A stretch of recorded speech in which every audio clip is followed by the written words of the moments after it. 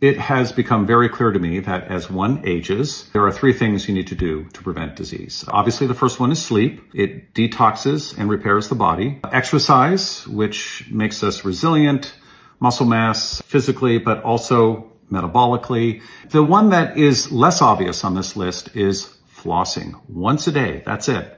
That's because inflammation in the mouth leads to inflammation throughout the body. And inflammation is what ages us. It really sets us backwards. Uh, but the problem is, is that we don't think flossing is as important as sleep or exercise. The other problem is it's very difficult to pull off properly.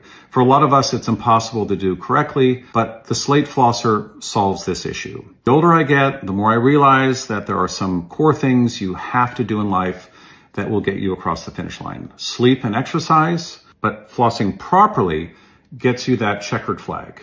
Use the flosser I use, your lifespan and your health span will thank you.